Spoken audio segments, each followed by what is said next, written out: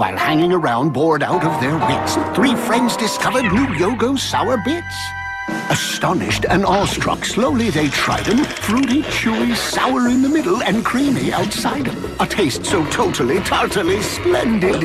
When too fast, too soon, too bad, it ended. Bitterly brooding, they bemoaned their bad luck when Jane shouted out, Follow that truck! as the hurrying haste of their chase surely shows. Slow go on the Yogos. New sour bits.